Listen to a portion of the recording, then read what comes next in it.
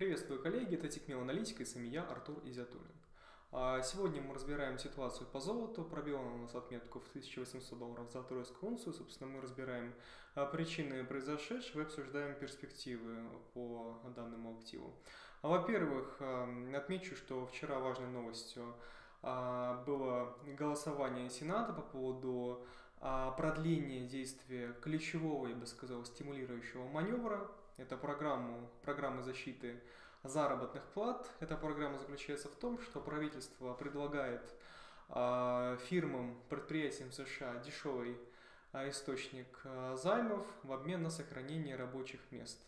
Предприятие, которое испытывает трудности с ликвидностью, не может найти деньги для оплаты труда, для выплаты зарплаты работникам, оно, собственно, может взять кредит беспроцентный, который затем при некоторых условиях даже можно не возвращать, и при этом единственное условие это э, выплатить 70% этого кредита в виде зарплаты работникам. Собственно, эту программу э, Сенат проголосовал за продление этой программы, теперь ожидается решение от Нижней Палаты по поводу того, а, по поводу ну, продления этой программы. Собственно, а, изначально рассчитывалось, что она будет у нас длиться с апреля по а, июнь, по конец июня этот спасательный круг будет действовать. Однако вот сейчас решение законодателя оно подсказывает нам, что без кредитной поддержки в США экономику подстерегает волна увольнений. А важно при этом помнить при интерпретации вот всех э, новостей, которые связаны с, с продлением э, стимулов вот этих э, фискальных инъекций, да, или созданием этих новых стимулов, так это то, что каждый, ну, так как правительство берет на себя эти расходы, то сигнал о том, что расходы будут увеличиваться, означает, что Минфин должен будет занимать больше. А, собственно, занимать нужно выгодно, безопасно э, для, э, для стоимости заимствований, то есть держать стоимость заимствований на низком уровне, чтобы, собственно, правительство могло подороже продать свой долг, если оно держит стоимость заимствования на низком уровне, да, оно может дороже э, продать свой долг, то есть выручить из него больше денег.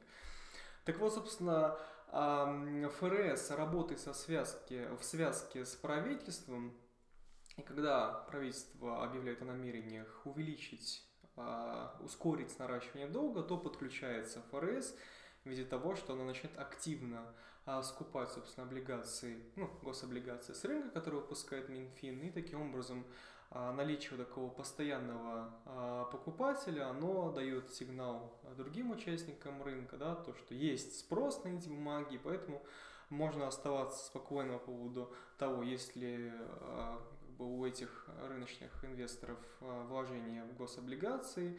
И сигнал, конечно, тем, кто хочет купить эти облигации, да, э, то, что если есть ФРС, значит, можно не волноваться, можно покупать, так как цена будет оставаться стабильной или она будет расти.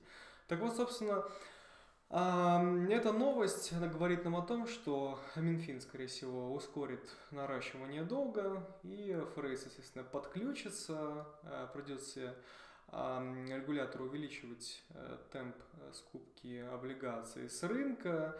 И вот эта новость а, о том, что продлевается программа защиты зарплат, она повышает шансы на то, что в скором времени а, ФРС начнет таргетировать э, кривую доходности. Об этом мы поговорим чуть позже. А еще один важный такой момент касательно этой программы, то что она, естественно, вызывает много вопросов качеству отчета по безработице, который вот мы увидели в мае, там были поразительные цифры, а рост, вопреки всем а, прогнозам сокращения рабочих мест, непонятно было, как это произошло. А, так вот, а, с этой программой защиты зарплат эм, появилось такое предположение, стало возможным делать такое предположение, что у предприятия был и остается высокий стимул а, откладывать увольнения, если таковые нужны, либо даже увеличивать найм. Потому что вот можно брать э, кредиты у правительства, чтобы выплачивать зарплату, чтобы не возвращать эти кредиты. Собственно, этот моральный риск высокий, который порождает эта программа, она позволяет э, предприятиям вот так вот использовать иногда недобросовестно э, да, вот, вот эту программу защиты зарплат. И это, собственно, искажает э, цифры по безработице.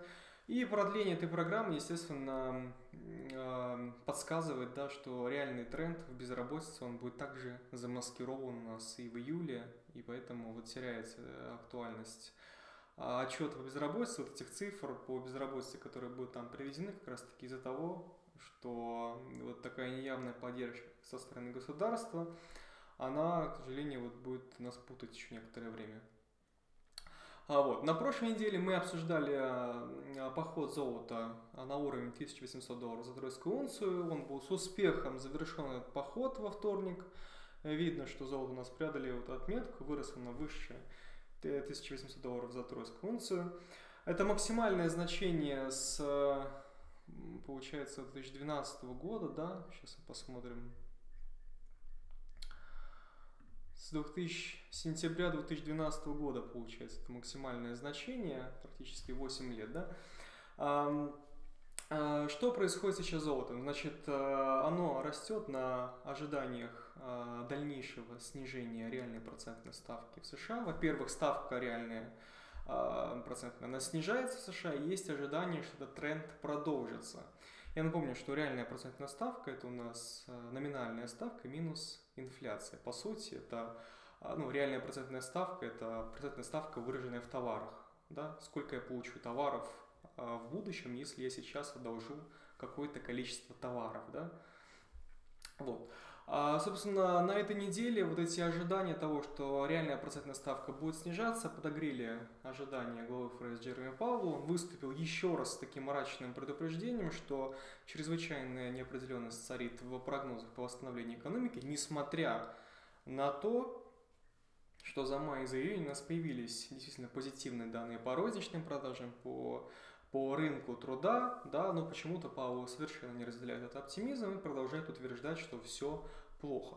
Собственно, а если переводить э, заявление в ФРС э, на язык конкретных действий, потому что, по сути, да, вот эти комментарии, это означает, они означают подготовку участников рынка к каким-то действиям со стороны ФРС.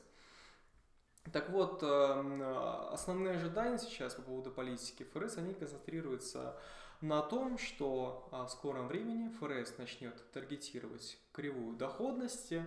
А, э, эта процедура она заключается в том, что ФРС начинает а, усиленно покупать облигации с рынка, и вместо того, что она объявляет о каком-то конкретном количестве покупок облигаций в месяц, предположим, 20 миллиардов долларов в месяц или 30 миллиардов долларов в месяц, ФРС объявляет о том, что она будет покупать а, облигации по конкретной цене в безграничном объеме. Что это говорит? О чем это говорит? Это говорит о том, что участникам рынка просто а, не будет выгодно да, продавать э, облигацию ниже, чем можно продать ФРС. Таким образом, вот это намерение ФРС, а, объявление ФРС о таргетировании кривой доходности, по сути, устанавливает некоторый некоторую нижнюю границу, которая цена по облигации не может преодолеть, не может уйти ниже.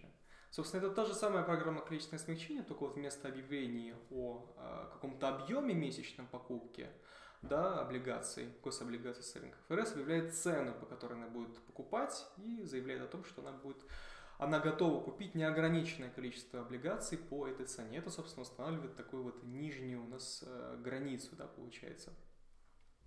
Вот, собственно, когда а, ФРС объявит об этом, естественно, это будет очень большой сигнал а, для рынков, для рисковых активов, в плане того, что нужно будет дальше покупать, будет дальше происходить рост у нас в рисковых активах. И шансы на то, что ФРС скором объявит о, об этой мере, о том, что она будет таргетировать э, кривую доходности, будет агрессивно скупать облигации, естественно, позволяет э, ожидать, что а у золота откроются новые перспективы уйти дальше э, вверх. Об этом также, э, возможно, будет известно даже сегодня, потому что сегодня у нас намечен выход а, протокола э, прошедшего заседания ФРС, которое должно пролить свет на планы регулятора по дальнейшему смягчению политики, в том числе таргетированию кривой доходности, вот, с которой мы с вами обсудили сегодня. В связи с этим потенциал роста, вот на мой взгляд, остается далеко не исчерпанным, потому что планы ФРС по контролю э, рынка бандов, по смягчению политики, они далеко идущие, эти планы еще не до конца реализованы. Естественно, а основной побочный эффект этих планов, как я уже сказал, это снижение реальной ставки.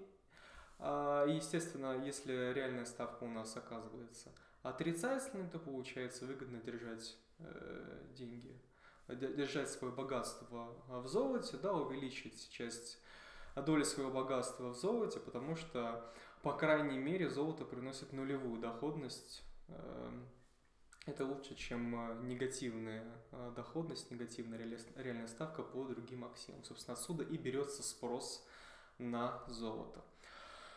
А на сегодня все. Спасибо за ваше внимание. Увидимся с вами в пятницу.